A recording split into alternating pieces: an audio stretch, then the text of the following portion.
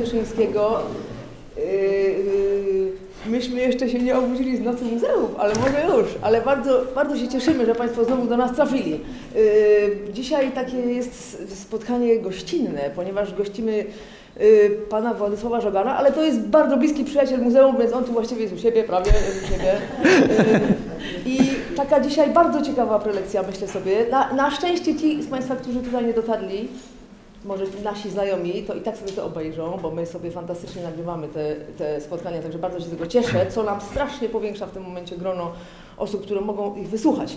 W każdym razie, pan Władysław Michał Żagan jest tak bardzo kojarzony z księciem Przemysławem Noszakiem, że już bardziej się nie da, ale to nie jest książę Noszak, tak? Bo potem niektórzy będą mówić, że to jest księciem. Jeszcze nie, jeszcze nie. W każdym razie bardzo się cieszę, że, że zgodziłeś się y, do nas zawitać i tę, ten wykład wygłosić, także bardzo, bardzo się, patrz, kulturalnie Cię przywitam. Ja witam Państwa bardzo serdecznie.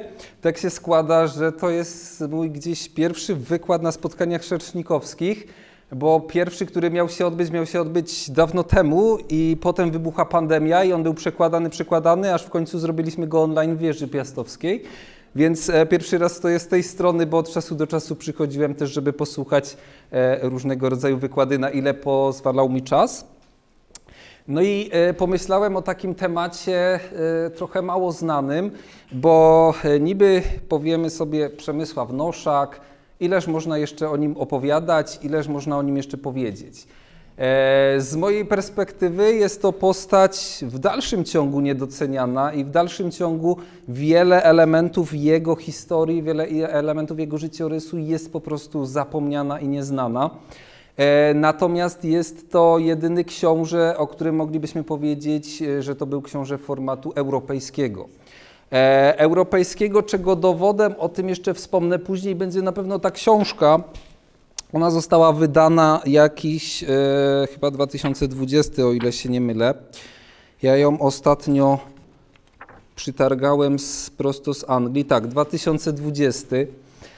E, I o tym, o czym będę dzisiaj tutaj opowiadał, ta książka mniej więcej mówi, ale też mówi o tym, co było po. Dlatego, że ten e, cały orszak, czy ta droga, bo nazwałem ten wykład drogi Przemysława do Anglii, bo to nie była jedna, jedyna droga, tylko zanim e, dowiódł on tam e, księżniczkę Annę Luksemburską, to kilka razy wcześniej też przepływał kanał La Manche e, w celach no, zwyczajnie, żeby uzgodnić wszelkiego rodzaju szczegóły małżeństwa z królem Anglii Ryszardem II. E, tak, więc, e, tak więc właśnie będzie tutaj dużo o Ryszardzie II. No i e, Alfred Thomas, brytyjski historyk, właśnie napisał taką książkę w wolnym tłumaczeniu Dwór Ryszarda II i kultura czeska. Bo to, o czym będziemy też mówili, wiąże się z historią, kiedy Cieszyn, księstwo cieszyńskie było zależne od korony czeskiej, czy też było lennem królów czeskich. E, Wszystko rozpoczęło się w 1327 roku, kiedy ojciec Przemysława Noszaka, Kazimierz I, składa hołd lenny Janowi Luksemburczykowi. E, I od tego momentu właściwie Kazimierz zagwarantował wszystkim swoim dzieciom doskonałe kariery na dworze Luksemburgów. Bo nie tylko Przemysław Noszak, o którym w dużej mierze będziemy tutaj mówić, ale też jego bracia, chociażby starszy brat Władysław czy jego starszy brat Bolesław, pełnili też swoje wysokie funkcje e, na dworze Luksemburgów. Chociażby Władysław pełnił te same funkcje co Przemysław Noszak, czyli był dyplomatą w służbie Karola IV. E, No, zszedł z tego świata e, w dość takich niefajnych okolicznościach, bo albo został otruty, albo zamordowany. E, we Florencji i do dnia dzisiejszego ciało tego księcia spoczywa w Pizie. E, Z kolei jego drugi brat Bolesław był osobistym spowiednikiem e, Karola IV. E, No i też zginął w bliżej niewyjaśnionych okolicznościach, skoro był spowiednikiem, ale to taki mój domysł, to pewnie się cesarz Karol wyspowiadał z jednego grzechu za dużo i trzeba było usunąć spowiednika. E, To była zwyczajna praktyka e, nie tylko w XIV, ale i w różnych epokach. więc, więc, więc nic bardziej dziwnego nie mogło się tutaj odbyć. Natomiast też Mogłem ten wykład wygłosić w zwykłym garniturze, ale postanowiłem, że tego nie zrobię. Postanowiłem, że zrobię to w stroju, w jakim rzeczywiście mm, tacy e, mieszkańcy podróżowali, e, czy ci dawni mieszkańcy Europy podróżowali po tych europejskich szlakach. My dzisiaj wejdziemy trochę na te szlaki, tak naprawdę na dwie takie istotne drogi, które zaprowadziły naszego księcia bezpośrednio do Londynu i do katedry westminsterskiej. E, no i co mam na sobie? E, cały orszak e, no to przechodził tutaj po europejskich drogach na przełomie 1381 i 1382 roku i w maju 1382 roku, a więc dokładnie 640 lat temu Przemysław Noszak wracał już z Anglii z powrotem mm, do, do, do Pragi. W lipcu tego samego roku jest już wzmiankowany znów w Norymberdze na dworze cesarskim jako świadek na jednym z dokumentów cesarza.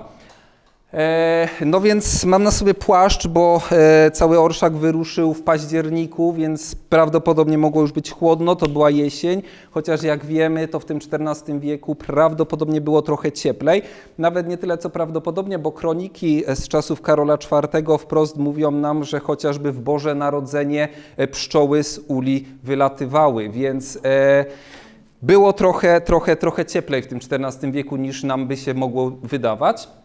E, no ale płaszcz był taką podstawą, bo płaszcz tego typu płaszcz wykonany z półkola to jest dokładna replika. My w rekonstrukcji historycznej mówi, powiedzielibyśmy, że to jest płaszcz koszerny, koszerny dlatego, że jest on uszyty ręcznie.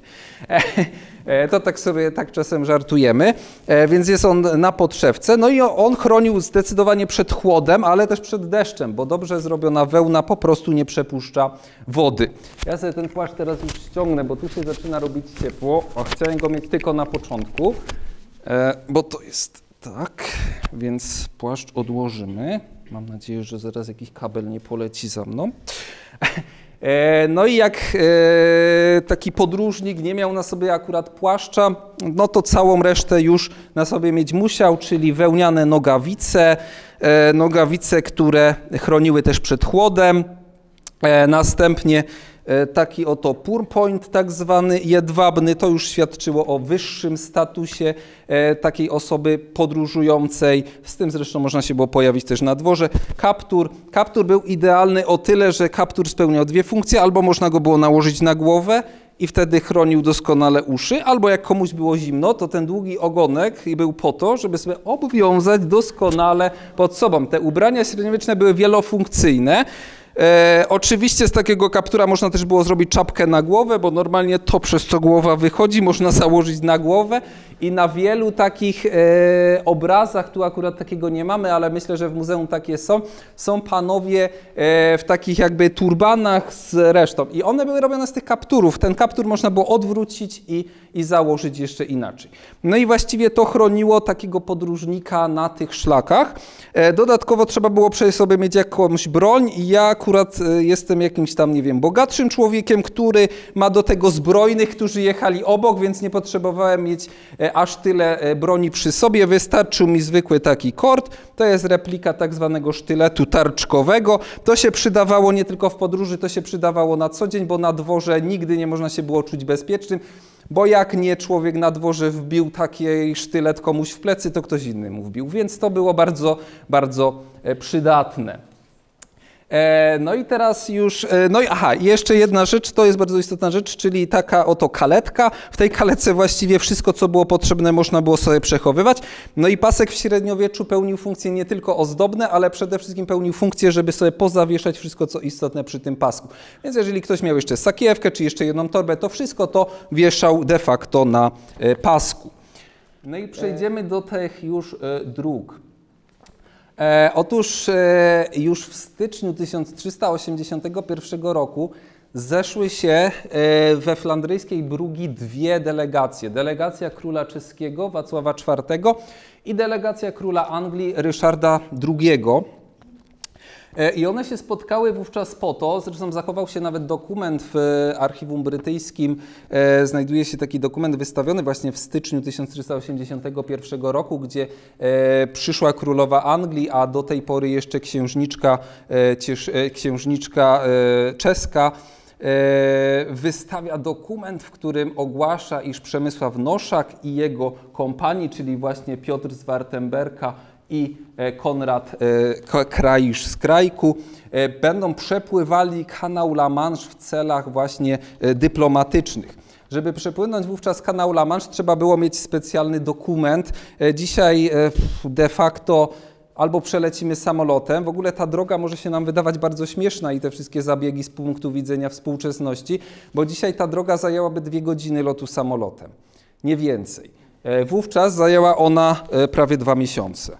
E, Więc e, tak to wyglądało. Ja może jeszcze tutaj coś przytoczę na, toma, na temat samych tych postaci Piotra z Wartenberga, e, bo to też nam pokaże samą pozycję naszego księcia Przemysława. Zresztą będę tu mówił o osobach, które znamy z historii, a z którymi spotykał się też nasz książę Przemysław. Mm, No i na przykład ten Piotr z Wartenberga, wiemy tylko tyle, że zmarł w 1402 roku, później był czeskim rycerzem, dworzaninem, panem na zamkach Kost, Drażnice i Kostomlaty, był wielkim mistrzem komory królewskiej. E, W 1368 roku pełnił też urząd marszałka dworu Karola IV w latach 1369 aż 1378, a więc do momentu, kiedy Karol IV w 1378 roku umiera. E, Był też burgrabią praskim w, tysiąc, od, w latach 1381-1386 i oczywiście członkiem Rady Królewskiej e, jak u Karola IV, tak też później u jego syna Wacława IV. I właśnie tutaj w tej Radzie Królewskiej spotykali się z naszym Przemkiem Noszakiem, bo również nasz Przemek Noszak był członkiem Rady Królewskiej wówczas. Z kolei Konrad z Krajku był również dworzaninem e, Wacława IV, panem na zamkach Landstein i Nowa Bystrzyce i pełnił, marszał, e, pełnił urząd marszałka dworu e, króla Wacława IV w latach 1379-1386. E, No i nasz Przemysław Noszak, który na dworach e, i Karola IV i Wacława IV pełnił najpierw e, urząd nadwornego sędziego, następnie e, pełnił też, e, pełnił też urzędy gubernatora Czech czy, e,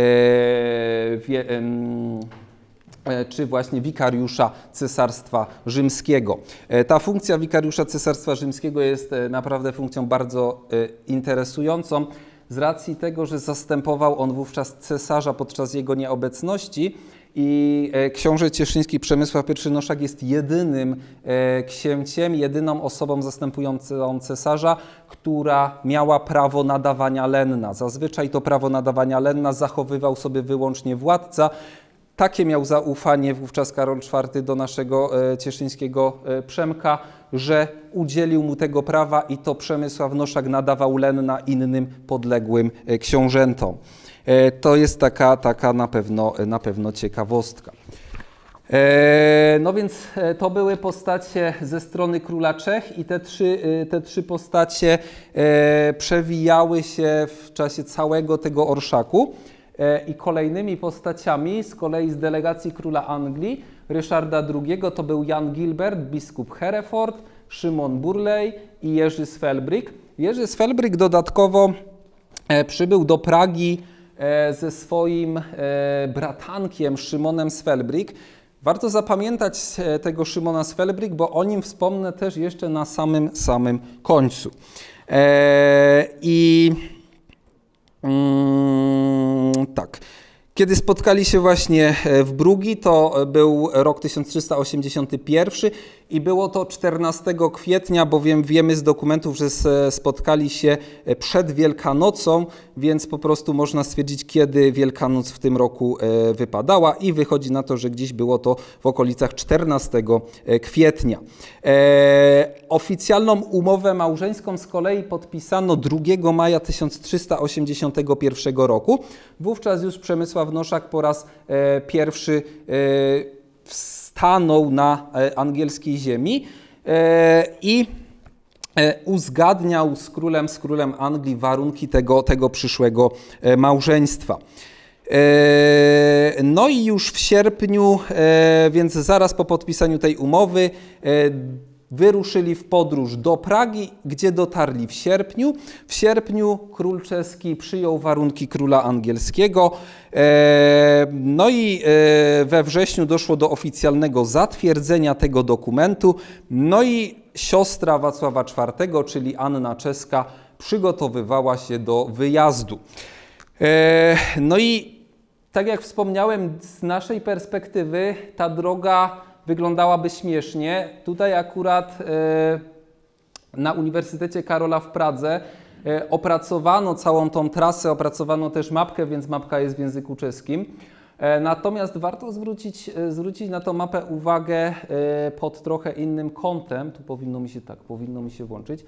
Właściwie do tej czerwonej linii sięgały granice Cesarstwa Rzymskiego, czyli do tej czerwonej linii cały czas orszak przebywał na terenie jednego kraju. E, to cesarstwo rzymskie kończyło się niedaleko od nas, bo to cesarstwo rzymskie, jego granica przebiegała na Rzece Białej. Więc e, tak naprawdę nasz Przemysław Noszak ze swojego księstwa, które było na granicy wówczas Królestwa Czeskiego, a zarazem Cesarstwa Rzymskiego, aż do tych terenów był w obrębie jednego kraju i podróżował tak, jakby dzisiaj podróżował po Unii Europejskiej. Też e, praktycznie walutą wówczas obowiązującą na terenach e, Królestwa Czeskiego i, i, i tego Cesarstwa Rzymskiego był grosz praski. Więc to też nam pokazuje, jaką rolę odgrywała sama Praga e, w tamtym czasie.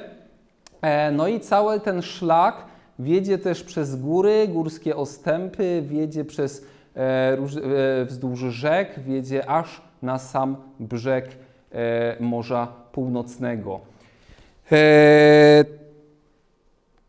tak. I co do tego orszaku, warto tutaj powiedzieć, że kiedy wyruszono w październiku 1381 roku z Pragi, to znaczna część osób biorących udział e, w tej wyprawie nie wróciła do domu. I nie tylko nie wróciła do domu dlatego, że zginęła gdzieś po drodze, bo po drodze, musimy pamiętać, e, to były czasy wojny stuletniej, e, wojny bardzo napiętych stosunków pomiędzy właśnie Anglią a Francją. Po drodze Dzisiaj tego nie stwierdzimy, możemy się jedynie domyślać, orszak mogły napaść różnego rodzaju hordy rozbójników. E, po drodze można było wejść e, w jakąś miejscowość, gdzie akurat panowała epidemia dżumy. E, część członków orszaku po prostu nie przeżyła.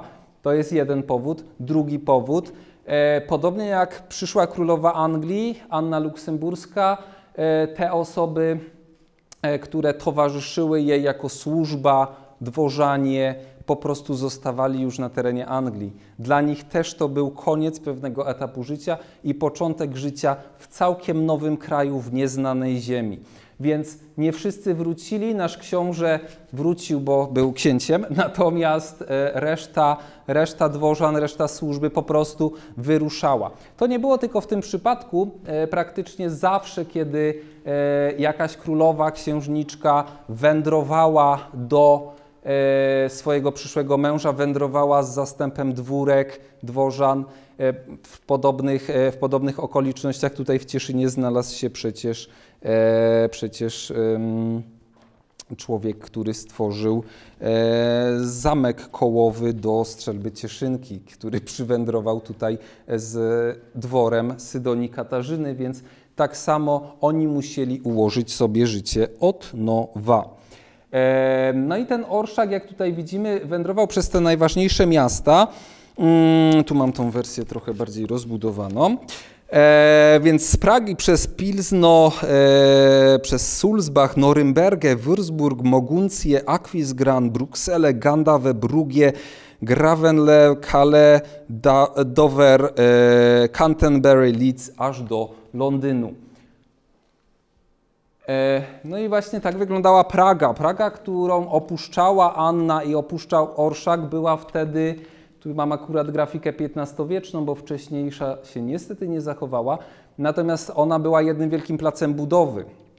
To były czasy, kiedy Wacław IV też inwestuje e, w rozwój Pragi. To były czasy, kiedy dopiero kończono budowę mostu Karola w Pradze. Te zabytki, które dzisiaj podziwiamy, to one wtedy dopiero powstawały.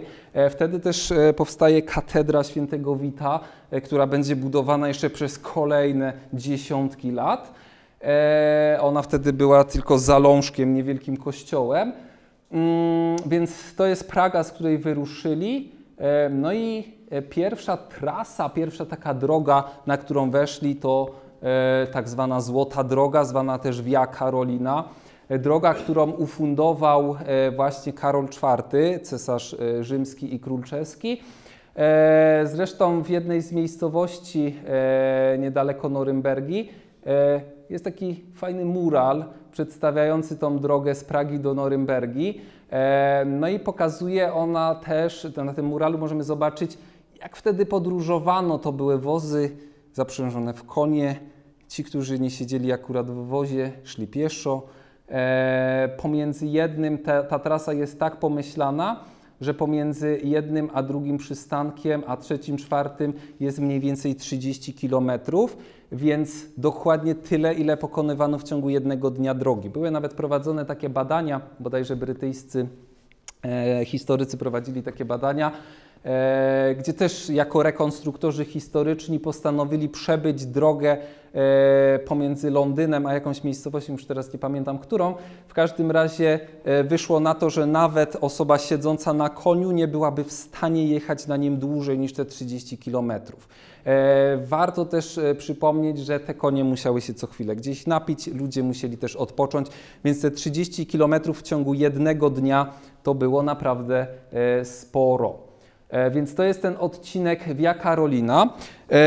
Taka ciekawostka, mm, bo, bo my też sobie z tego często nie zdajemy sprawy, ale my po takich szlakach po dziś dzień wędrujemy, bo wzdłuż tej średniowiecznej Via Karoliny wytyczono autostradę e, A6, która wiedzie przez Niemcy. E, na terenie Czech to jest część autostrady D5. No i e, ten szlak Via Carolina, ta droga została przedłużona aż do Francji współcześnie i to jest autostrada A4 i A320. Więc wzdłuż tej, tej oryginalnej średniowiecznej drogi takimi trasami nasz książę wędrował nie drogą asfaltową, więc jeżeli, będzie, więc jeżeli jeszcze raz będziemy narzekać, że mamy złe drogi w Polsce, to przypomnijmy sobie, jakimi drogami po Europie wędrował nasz książę. Tak jak mówię, to były leśne ostępy, drogi wąskie, e, często wśród lasów, drzew, e, często przez bagna, e, często trzeba się było przedrzeć przez rzeki, e, jak na przykład most został zerwany, bo nikt nie naprawiał mostów wówczas jak był gdzieś most, to trzeba było zapłacić też my to, żeby po nim przejechać. E, więc gdzieś w środku lasu co najwyżej była kładka wykonana e, z jakiegoś zwalonego drzewa i po tym trzeba było przejść.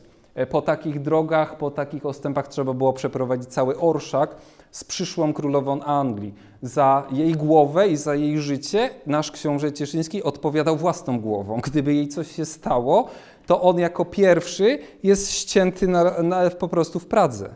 E, więc e, to była naprawdę ogromna odpowiedzialność w skrajnie niebezpiecznych warunkach i czasach. Późniejsi, późniejsi kronikarze angielscy opisywali właśnie tę podróż jako skrajnie niebezpieczną i skrajnie nieodpowiedzialną.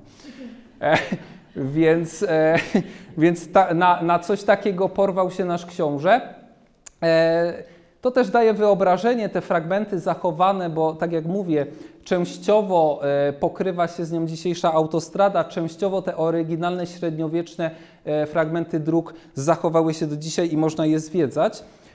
E, I aż do Norymbergi ta droga, ta droga wówczas wiodła. Norymbergi, która rzeczywiście była po Pradze takim bardzo ważnym miejscem w całym, w całym cesarstwie.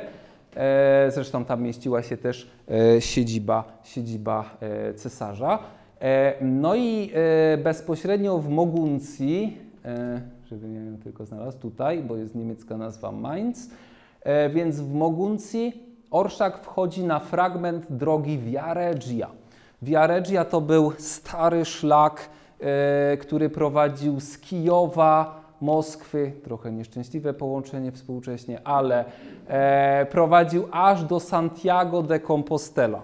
To jest słynny, e, dzisiaj znany też jako droga świętego Jakuba, e, więc e, praktycznie od czasów starożytnych, jak się okazuje. Ostatnio oglądałem taki fajny program na, na Planet Plus, gdzie opowiadali o całym tym szlaku. Okazuje się, że ten szlak e, drogi świętego Jakuba istniał już w starożytności. E, I e, uważano to miejsce na samym końcu, bo dzisiaj dochodzi się tylko do grobu świętego Jakuba do Santiago de Compostela, natomiast na nim nie kończy się szlak. Szlak kończy się aż nad Atlantykiem i starożytni uważali, że to było miejsce narodzin Wenus. I e, dawni pielgrzymi, jeszcze pogańscy wędrowali aż do miejsca narodzin Wenus. Natomiast w czasach chrześcijańskich ten szlak no, musiał zmienić swoją zasadność, no i wędruje się dzisiaj do Santiago de Compostela. E, więc e, nasi, e, nasz książę z całym orszakiem wszedł w Moguncji na ten szlak, który wiódł dalej do Calais.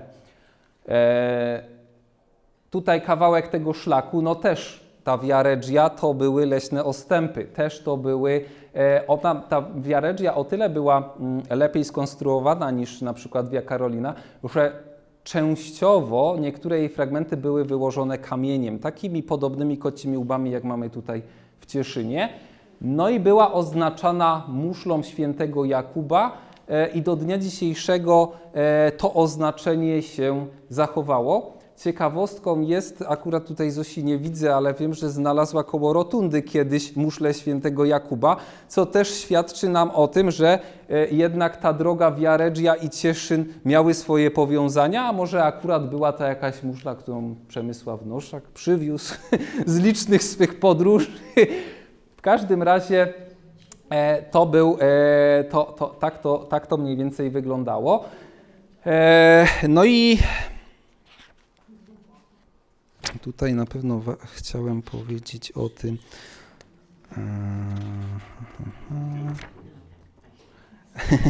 No była trochę szersza, to faktycznie. Mm, miałem tu coś jeszcze do wrzucenia.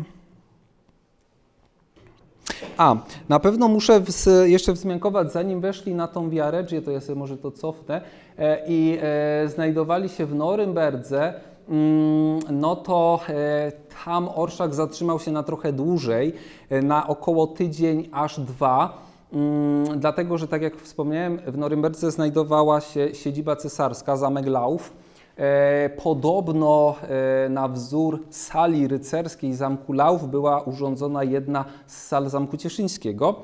To tak jako ciekawostka. I w tej e, sali rycerskiej Zamku Lauf jest dzisiaj fresk herbowy, na którym znajdziemy tego naszego cieszyńskiego orła. Tam wprawdzie jest wpisane, że książę opolski, ale e, to było mm, tworzone w czasach, e, kiedy jeszcze piastowie cieszyńscy się nie wyodrębnili z piastów opolskich, więc siłą rzeczy to jest też nasz, nasz cieszyński orzeł. Mm, więc e, podobno taki podobny fresk był też na zamku w Cieszynie. Ciężko nam tego dowieść, bo mamy z zamku to, co mamy.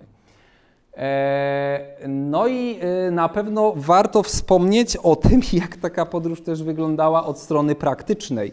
E, otóż, kiedy zatrzymywali się, czy to w Norymberdze, czy w Würzburg później, czy w Moguncji, no to tylko ci najbogatsi, przyszła królowa Anglii, nasz książę Przemysław Noszak, jego towarzysze, ewentualnie jakieś dwórki towarzyszące e, przyszłej królowej Anglii spały w tych zamkach czy klasztorach, które odwiedzano po drodze. Natomiast większość członków orszaku spała w takich oto obozowiskach i e, mogę Państwu powiedzieć z takiego praktycznego punktu widzenia, bo nie jedno takie historyczne obozowisko rozbijałem, to zajmuje trochę czasu, I ja osobiście nie wyobrażam sobie rozkładania tego i składania codziennie.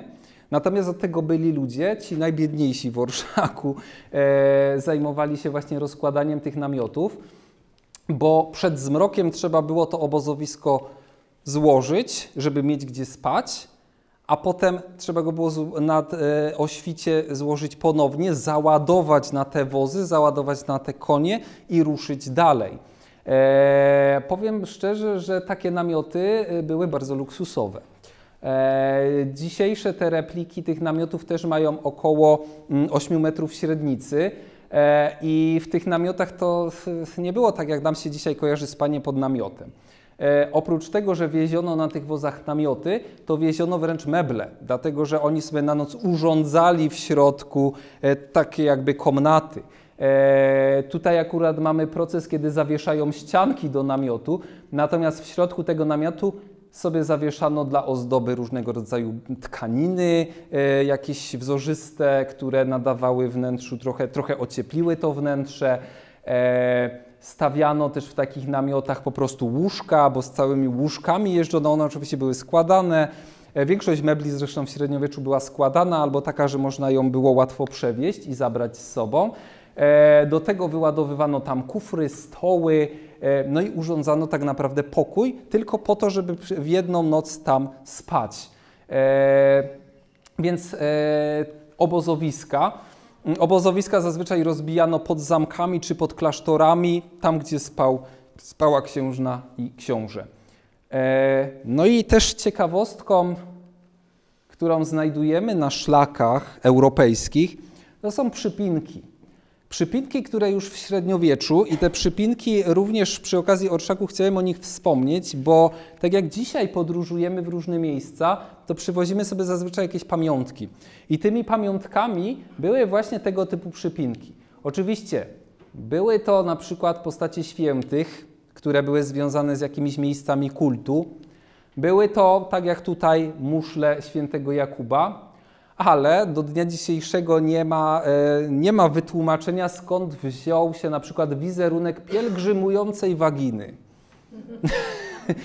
Bo właśnie taki oto wizerunek, wagina w czapce pielgrzyma z różańcem i laską pielgrzymią, to takie oto przypinki znaleziono. Albo też przypinka królującej waginy, którą e, nie, niosą trzy penisy. Tego typu, tego typu po prostu e, elementy, tego typu przypinki znajduje się na różnych szlakach europejskich dzisiaj. E, nie ukrywam, że one są najbardziej popularne są te dwa w rekonstrukcji historycznej. Każdy, każdy, każdy rekonstruktor chce mieć albo pielgrzymującą waginę, albo, albo królującą. Są też polujące waginy, gdzie ona siedzi na koniu z łukiem, strzał napiętym, więc takie różne przypinki się pojawiały ale tak jak wspominałem, to były zwyczajne pamiątki. Tak jak my dzisiaj przywozimy pamiątki, tak i wtedy pamiątki e, przywożono. Przepraszam bardzo, czy to było akceptowane przez panujący Kościół? E, my czasem mamy wyobrażenie właśnie o średniowieczu, że Kościół dużo, dużo, dużo mógł. Oczywiście Kościół dużo gadał, ale natura ludzka nie zmienia się od tysięcy lat. I człowiek w swoich podstawowych gdzieś e, ciągotkach się nie zmienia. Więc, e, więc nawet w takim średniowieczu, które z naszej perspektywy wydawałoby się zacofane, e, święte i że ci ludzie, bo zresztą też tak nas uczą na lekcjach historii, że główne hasło to ora et labora, módl się i pracuj i ci ludzie nic innego nie robili. I oni się bawili tak samo jak my, jak nie gorzej i jak e, w swoich jakichś tam E, muszę czas skontrolować, bo zauważam, że jestem dopiero w tym miejscu, a jeszcze mam 20 minut. Dobrze. E, więc e, ci, ludzie, ci ludzie w średniowieczu e, również bawili się e, podobnie jak my. E, I im sprośniejsze przedmioty, im sprośniejsze rzeczy, tym były bardziej zabawne. więc zaraz wracamy. na pewno. Mm, na początku grudnia 1381 roku cały orszak e, dociera do Brukseli, e, do Brukseli, gdzie e, znajduje się zamek, czy właściwie znajdował, bo dziś już nie istnieje, Koudenberg. Ten zamek był siedzibą Wacława I Luksemburskiego i jego żony Joanny Księżnej Brabancji. E, Wacław I Luksemburski i Joanna e, byli e, tak naprawdę wujem i ciotką Anny Luksemburskiej. I mm, Bruksela była o tyle istotna, że w Brukseli znowu orszak zatrzymuje się na dłuższy czas. Nie wiemy dzisiaj, ile to trwało, natomiast książę Cieszyński, bo też, żeby zobrazować ten orszak, mm, oczywiście książę sobie tutaj jechał, tu sobie jechała królowa, przyszła. Natomiast przed całym orszakiem, na kilka kilometrów, nawet dzień, dwa drogi wcześniej, jechali zwiadowcy, którzy wytyczali szlak. I ci zwiadowcy powiadomili, tak przynajmniej się w kronikach zachowało, powiadomili księcia Przemysława, który dowodził całym tym orszakiem, że na kanale La Manche e, jest sztorm. E, I ten sztorm na kanale La Manche wstrzymał właśnie orszak na co najmniej dwa tygodnie. E, i dopiero kiedy wody kanału La Manche się uspokoiły, można było kontynuować tę drogę. E, natomiast e, z samej Brukseli, no jeszcze kawał drogi trzeba było przebyć i to jeszcze przebyto jakieś trzy dni, cztery drogi do Calais. Nomen omen Kale do dnia dzisiejszego jest miejscem, gdzie jeżeli jechalibyśmy autobusem do Anglii czy samochodem, to w porcie w Calais możemy wsiąść właśnie albo na prom, albo skorzystać z Eurotunelu. Dlatego, że między Calais a Dover mamy najkrótszą drogę między kontynentem a Wyspami Brytyjskimi i ta droga była wykorzystywana już właśnie mm, w czasach naszego księcia Przemysława Noszaka. No i takimi statkami nasz książę przypłynął do Anglii. E, te statki nazywano kogami. E, kogi, one, mm, ja sobie zaraz tutaj znajdę, żeby tutaj się nie pomylić. Więc e, na takim statku można było pomieścić około 100 osób, natomiast w tym 50 ciężko zbrojnych. E, więc plus towar, plus, który przechowywano pod podkładem, więc to wszystko trzeba tutaj było zmieścić i według zapisków kronikarzy, natomiast nie wiemy na ile one są prawdziwe te zapiski, bo kronikarze czasem przesadzą albo w jedną, albo w drugą stronę. Podobno z do Dover wypłynęło 200 takich statków wówczas. 200 statków to jest naprawdę ogromna, ogromna liczba. E, natomiast jeżeli policzylibyśmy ilość osób, która wchodziła w skład orszaku ze wszystkimi zbrojnymi, to że to ja tak szacuję, że około 80. tak, tak, według mnie szacunkowo około 80-200 to chyba sobie Foysart przesadził. Eee, i aha, i też trzeba pamiętać, że droga przez kanał La Manche, czyli droga przez morze, e, była dla wielu uczestników tego orszaku bardzo traumatycznym przeżyciem. Traumatycznym dlatego, że osoby z kontynentu, które nigdy nie widziały morza, bo musimy brać to pod tym względem, nigdy nad morzem nie były, e, większość tych członków orszaku, E, nagle miała się znaleźć na takiej drewnianej łajbie, która właściwie jak łupina orzecha była pomiatana przez te fale. To nie miało żadnych, e, żadnego motoru, tak jak dzisiaj, czy, czy, czy innych elementów. Po prostu e, kupa desek tak naprawdę miała ich przewieźć na drugą stronę. A o morzu słyszeli oni legendy, że żyje gdzieś w głębinach mityczny kraken, który te statki e, przewraca, że żyją tam syreny, które mogą ogłuszać e, ludzi. E, żyją różne inne potwory morskie, które mogą taki statek wywrócić. I w to rzeczywiście wierzono. Jesteśmy w średniowieczu. Niby chrześcijaństwo, ale te postacie demoniczne cały czas gdzieś przewijają się e, w życiu tych, e, e, tych osób żyjących wtedy. Więc nasłuchali się o tym i przyszło im wejść na takie statki. I wiemy, że na takich statkach 18 grudnia cały orszak dotarł do zamku Dover zobaczył dokładnie taki sam widok, jaki widzimy dzisiaj, kiedy przypływamy do Anglii. Wysokie klify, na szczycie twierdza Dover, która była tako, takim miejscem, mm, która była tak naprawdę twierdzą broniącą wybrzeży Anglii, tych południowych wybrzeży Anglii. E, taka, taka drobna dygresja. E, e, ja kiedyś e, chciałem pracować tam w tym zamku i, i prawie się to udało, ale znalazła się praca w zamku Cieszyn. Więc e, już papiery były złożone. e, więc tak jakoś zawsze mnie ciągnęło do tego Noszoka i do jego historii widocznie. Natomiast e, dokładnie te same klify, ten sam zamek pojawił się przed, e, przed, przed e, członkami naszego orszaku. E, No i też jak e, sobie tutaj zapisali mm, kronikarze, to jest bardzo istotne, e, dokładnie 18 grudnia, kiedy przyszła królowa Anglii, stanęła na angielskiej ziemi, rozpętała się potworna burza i wzmógł się wiatr, który wzburzył spokojne dotąd morze i roztrzaskał o skały statki, na których przybyła wraz ze świtą. To pokazuje, jak niebezpieczna to była podróż. Akurat na ten czas, kiedy przepływali przez Calais, kanał La Manche był spokojny, ale ledwo stanęli na brytyjskiej ziemi, to wszystkie te statki, te 200 statków, jak chcą kronikarze, zostały roztrzaskane w drobny mak i w drobne deski. E, więc spędzili tam noc e, i prze, dalej ruszyli w stronę, w stronę kolejnego zamku, zamku Leeds, w ogóle e, jeden z najpiękniejszych zamków w Anglii. E, to tak, tak, tak mimochodem. E, I w zamku Leeds zatrzymali się na dłużej, bo dotarli tam około 20 grudnia, a więc zbliżało się Boże Narodzenie. I nasz książę Przemysław Noszak spędził to Boże Narodzenie właśnie w tym zameczku razem ze swoją, swoją królową.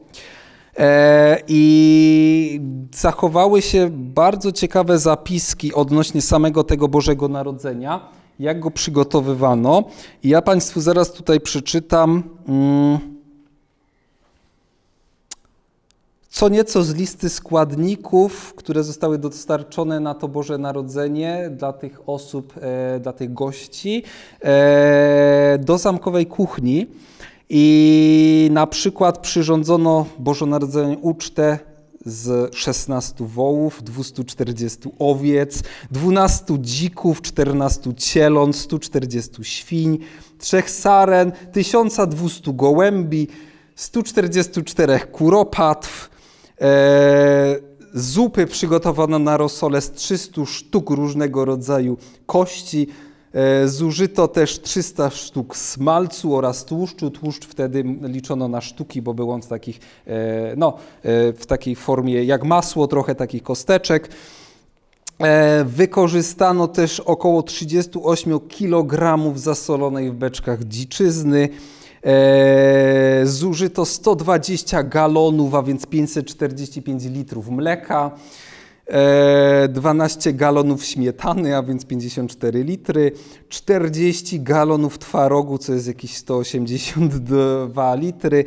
I 11 tysięcy jajek zużytkowano, więc tak dokładne zapiski e, znajdują się właśnie w archiwum w Zamku Lidz. E, zresztą ten zamek Lidz jest e, też kluczowy, bo w czasie tego Bożego Narodzenia e, zamek Lidz e, księżniczka Anna otrzymała od swojego przyszłego męża w prezencie i zamek Lidz był później takim jej ulubionym miejscem, w którym się razem z królem Anglii Ryszardem II spotykali, często tam jeździli. No i z tych zapisków też później samego zamku Lidz wiemy, że e, księżniczka Księżniczka Anna ulubiła sobie taką specjalną, o tu mam tą nazwę, e, ulubiła sobie taką e, potrawę, czy taką, taką, taką, moglibyśmy dzisiaj powiedzieć, słodką tartę o nazwie day rolls. E, I te, te day rolls, e, przepis na nie zachował się później e, w takim wielkim zwoju pergaminu, gdzie e, Ryszard II kazał spisać wszystkie dania, które mu e, smakowały. No i dzisiaj jest to najstarsza książka kucharska na świecie. E, więc e, te day rolls można sobie nawet przygotować, jak ktoś, e, jak ktoś lubi. E, trzeba do tego było e, co nieco mleka migdałowego, jajek, cukru i szafranu. Szafran stanowił tutaj podstawę w średniowieczu. E, tak, no i to by, by, e, to by było to Boże Narodzenie. E, Warto jeszcze zwrócić uwagę, bo to Boże Narodzenie w e, średniowieczu trwało 12 dni. Nie było tak jak dzisiaj, że mamy Wigilię, pierwsze, drugie święto i święta się skończyły. Było tak zwanie 12 dni Bożego Narodzenia. W Anglii do dnia dzisiejszego istnieje kolenda e, 12 Days of Christmas, więc 12 dni Bożego Narodzenia, które świętowano od e, Wigilii praktycznie do e, Trzech Króli. E, I ta uroczystość Trzech Króli kończyła tak naprawdę to świętowanie, świętowanie Bożego Narodzenia. Mm, Więc przez te 12 dni cały orszak oczywiście był sobie w zamku Lidz, ucztowali. No i warto tutaj zauważyć, że wśród gości też zamku Lidz sprowadzonych przez Ryszarda II był Geoffrey e, Chaucer, czyli e, późniejszy poeta, filozof, jeden z bardziej znanych e, średniowiecznych, angielskich oczywiście mm, poetów. Zresztą on też napisał kilka poematów na cześć samej Anny i na cześć tego orszaku, który, który przywędrował z dalekiego kraju. No i istnieje też prawdopodobieństwo, że ten orszak który przywędrował, to w czasie tego Bożego Narodzenia e, mógł, mógł powstać zalążek e, kolendy e, King Wenceslas, która jest w Anglii do dnia dzisiejszego śpiewana. Tam coś, tam jakoś te słowa idą, dobry, dobry królu Wacławie, i on tam jakieś czynił rzeczy w tej swojej kolendzie. Więc to był zamek Leeds. No i kiedy 6 stycznia opuścili zamek Leeds, wędrowali jeszcze kilka dni e, do samego Londynu i do Londynu dotarli. e, 18 stycznia 1382 roku. Był to triumfalny wjazd całego orszaku. E, Też z zapisków możemy e, się dowiedzieć, e, że właśnie niesiono przed e, księżną, e, przyszłą królową Anglii, chorągwie e, Cesarstwa Rzymskiego, Królestwa Czeskiego.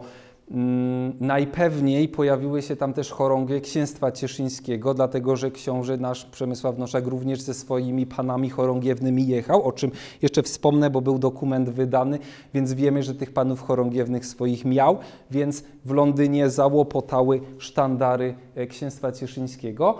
Mm, Dwa dni później e, Anna została żoną Ryszarda II e, 20 stycznia i 22 stycznia, czyli kolejne dwa dni później, została królową Anglii.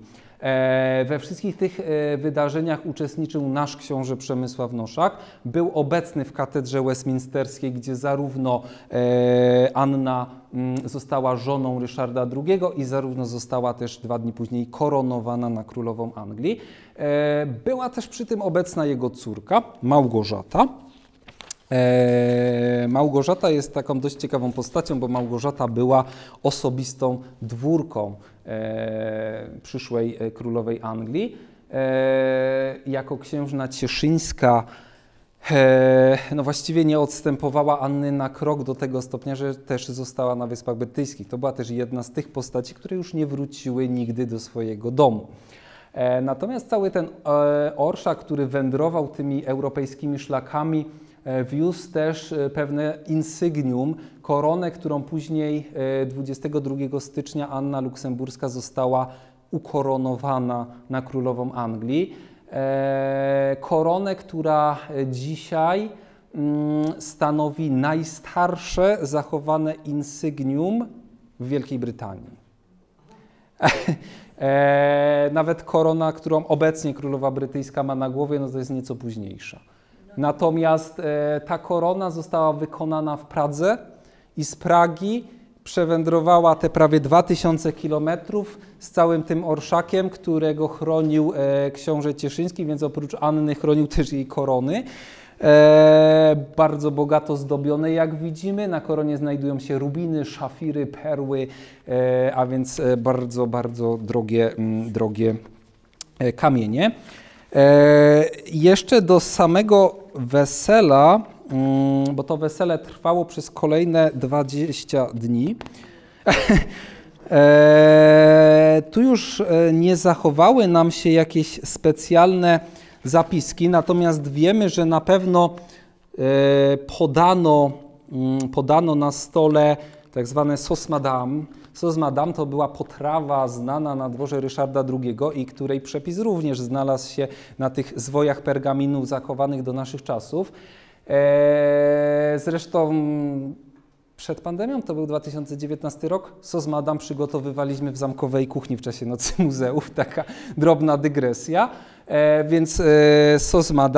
E, no i to jest największa ciekawostka, w czasie całego wesela wypito e, 2 miliony 727 tysięcy 366 litrów piwa.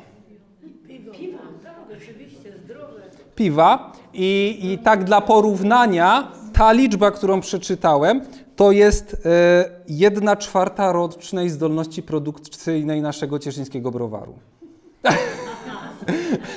więc zostało to, więc jedna czwarta produkcji naszego browaru została po prostu wypita w ciągu 20 dni. więc e, można sobie wyobrazić, jak, e, jaka, jaka to była ciekawostka.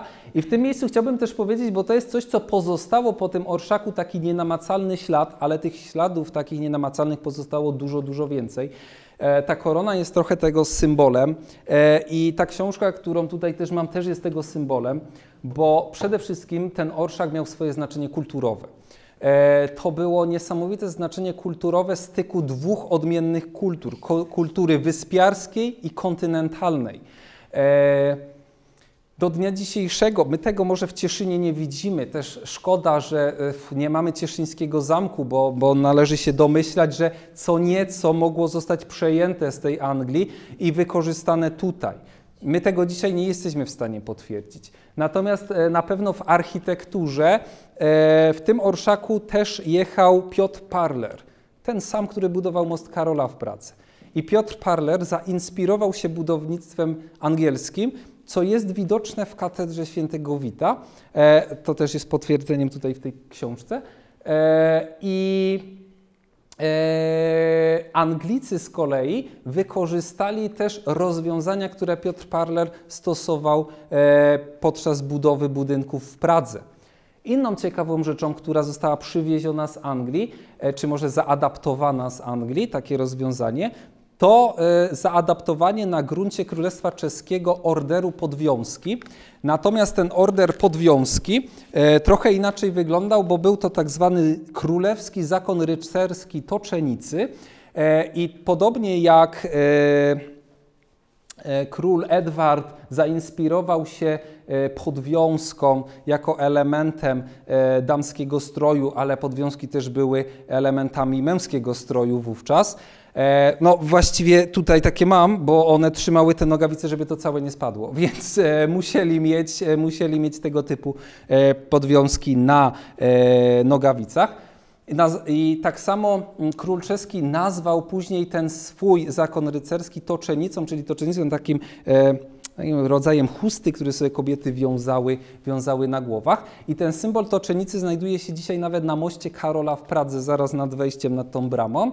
E, I nasz książę cieszyński Przemysław Noszak, później jego syn Bolesław e, I, byli członkami tego zakonu rycerskiego toczenicy.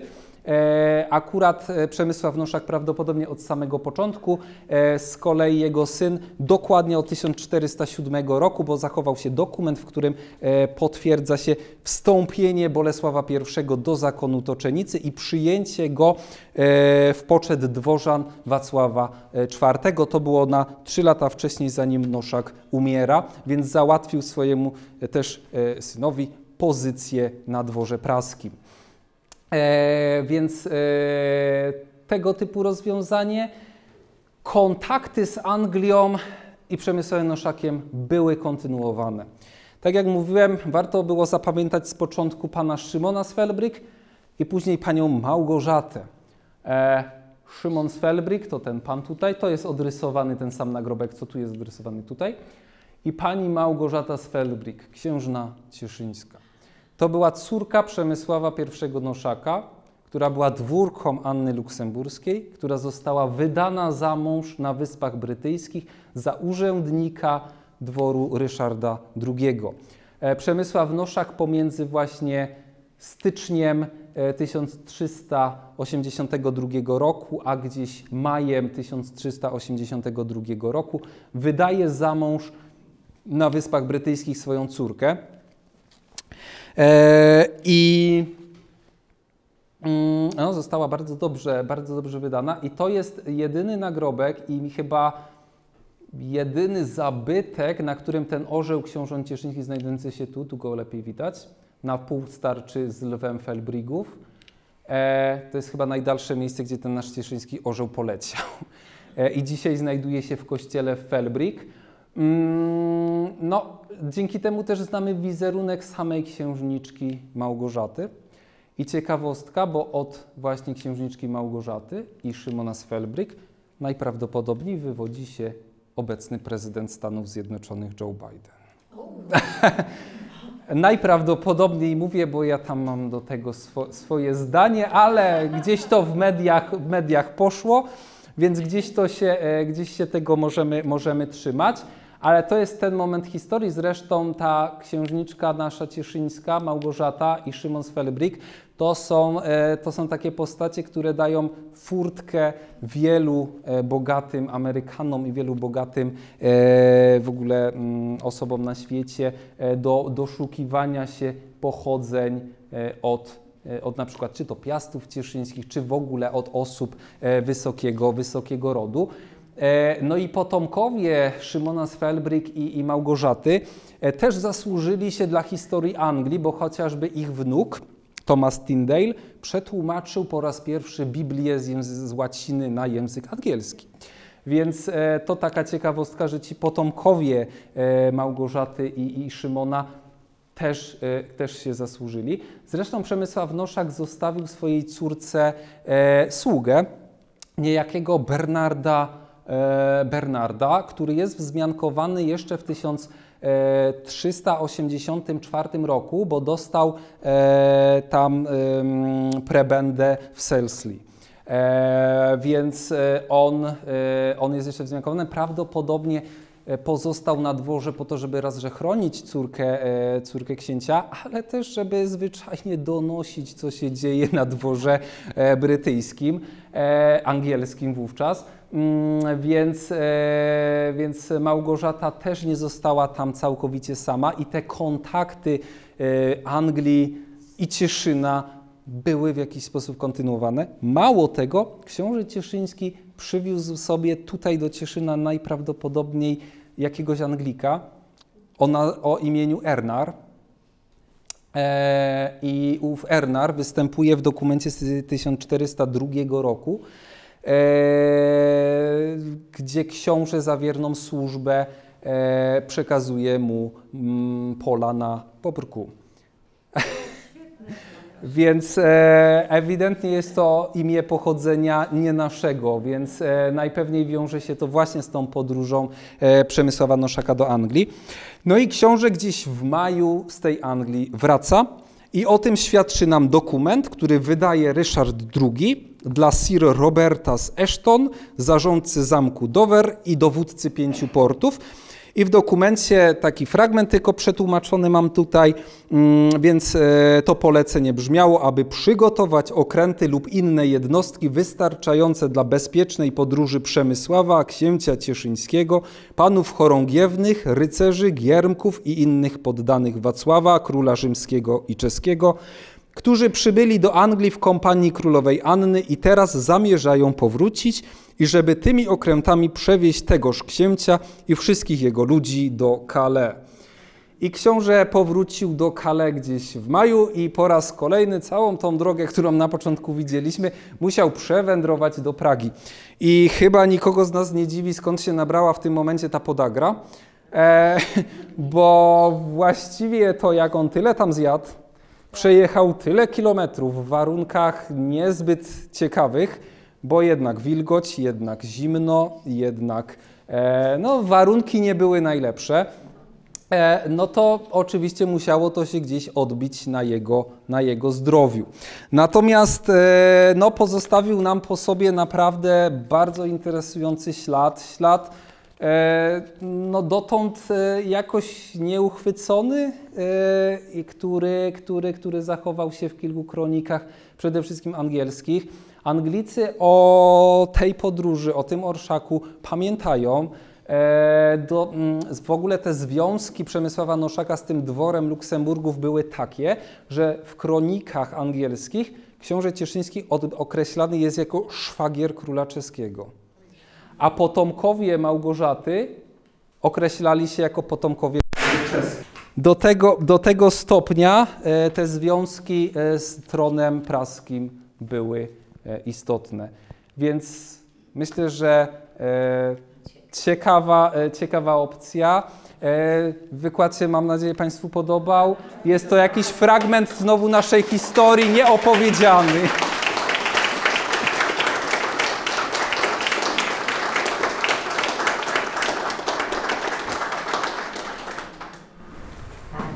A czy zachowały się może jakieś wzmianki na temat knedliczków czeskich na w czasie waszej historii? Nie sądzę, bo te knedliki czeskie, pierwotne knedliki czeskie były z ziemniakiem. A ziemniak to dopiero później się pojawił, bo ten taki włóczany knedlik to on się pojawił też późno. No.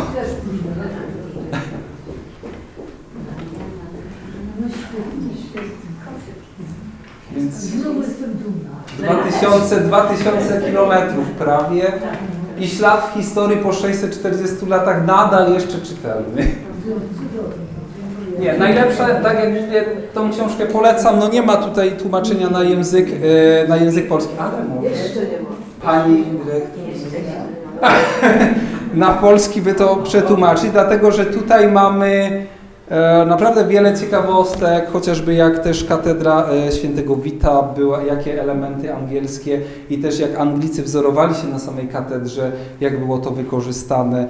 Czy e, na przykład e, sam kult e, świętego Jana i świętego Jerzego, jak dotarł na ziemię czeskie, jak to zostało wykorzystane. Tutaj też coś mamy z tej całej podróży, więc te statki płynące do Anglii. No, A czy coś wiadomo, to znaczy w historycznych dokumentach komentowało się tą królową, nową królową Anglii jako dobrą, złą, że ona przeszła do historyjka dobra królowa Anna. Ona zmarła kilka lat później, niestety w wyniku epidemii dżumy. I to był bodajże 1397, jeżeli się nie mylę. To jej się umarło na dżumę i Ryszard II też zmarł potem e, krótko po niej. E, natomiast, e, natomiast ona gdzieś zakończyła też taką pewną epokę w Anglii. No i też powoli, mówię powoli, bo to jest gdzieś tam te 30 czy 40 lat, zbliża się wojna dwóch róż, nie? I, i wojna o tron brytyjski, więc, więc, więc, więc gdzieś tam pewna epoka tej średniowiecznej Anglii się skończyła, kiedy umarła księżna Anna i później Ryszard II. A potomków mieli, tak? Nie, A nie mieli. nie. Wojna potem, mówią.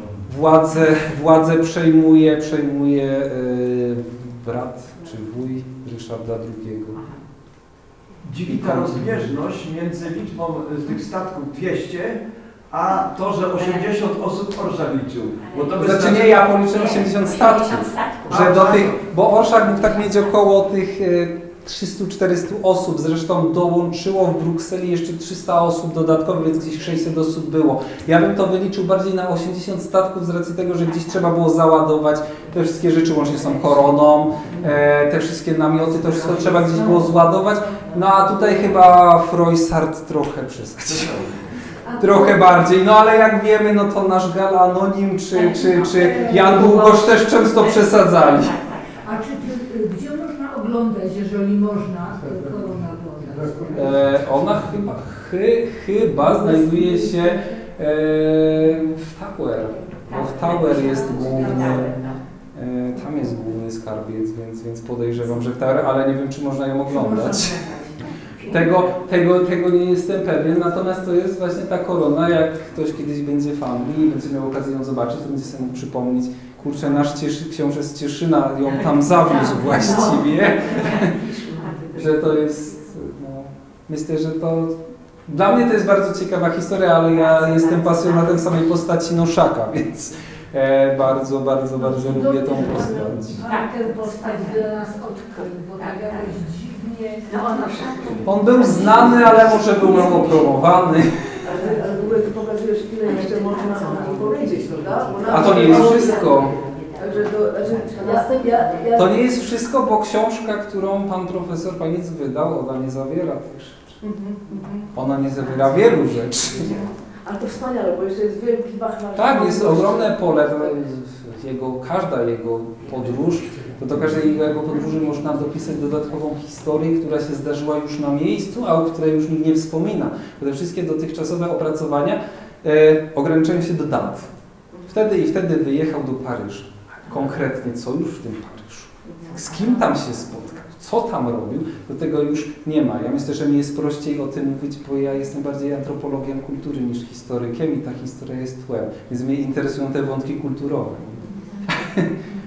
Ale tego typu historie obalają mit o mrokach średniowiecza. Nie Tak. pamiętam, kto napisał. Ja się napisał mroki Tak. średniowiecza Tak. właśnie, bo zawsze był ten stereotyp, że ciemny, a tymczasem okazuje się, że wiele pięćdziesięcioleci, nie dziesięcioleci, pięćdziesięcioleci w średniowieczu to była większa w cudzysłowie turystyka, nie tylko pielgrzymkowa, bo przecież nie tylko w Europie Zachodniej, pó- później w Skandynawii się te rody łączyły, co gwarantowało czasami pokój, czasami nie. Bo wojna między trzema kuzynami, pierwsza światowa, prawda, między trzema kuzynami. Ale dzisiaj bym to porównał z tym, że dzisiaj się próbuje nie koligację między y, panującymi, tylko przez budowanie rurociągów, co też nie zawsze wychodzi. No, to było, to znaczy też musimy sobie sp- zdać sprawę z innej, inną sprawę, że wtedy te czasy, mm, no de facto te państwa były domeną jednego rodu. No tak. A jak wiemy, no to w rodzinie e, raczej to, co jest nasze, to nie chcemy tego za bardzo niszczyć, rozkradać czy coś w tym stylu, tylko sobie tego pilnujemy, nie? No więc jak trzeba było połączyć rody, to się łączyło majątki i pilnowało się tych majątków. A dzisiaj różnie bywa. Ja miał, nie miały takiego wyboru e, w latach- rodzic. W latach 80. XIV wieku dosyć popularne były w Anglii idee Johna Wycliffe'a. I W związku z tym miałbym pytanie, czy ten orszak miał jakiś wpływ na przenikanie e, tych idei, które później jakby posłużyły Janowi Husowi i już wtedy może można było dostrzec jakiś zalążek e, przyszłej herezji? Powiem tak, nie odpowiem na 100%, bo ciężko powiedzieć, co było tam te 640 lat temu. Jest to prawdopodobne. Nie możemy tego wykluczyć. Natomiast, żeby móc to wykluczyć albo potwierdzić w 100%, trzeba się by było przebić w tamte czasy. No tak. A to jest na razie niemożliwe. o ile kiedykolwiek będzie. Także bardzo, bardzo dziękujemy za wspaniały wykład. Matko, naprawdę jestem pod wrażeniem i myślę, że musimy Cię znowu zaprosić, bo Ty znowu nam możesz takie cudowne rzeczy powiedzieć, ale naprawdę. y, y, Jedna dygresja, taka mała dygresja, która już z naszych czasów doszykowych, ale te, te, w tym zamku Blitz jest największa na wyspach zbrojownia. I znajduje się tam jedna, jedyna cieszynka. O, O, a to jest przypadek, ale przypadek, bo to są No, przypadek. Tak, przypadek. bardzo dziękuję. Mówią, że nie ma przypadku. No nie ma. Może ktoś specjalnie. No może, może. Masz już, otwarte zaproszenie na przyszły rok, dobrze? Także bardzo, bardzo dziękujemy.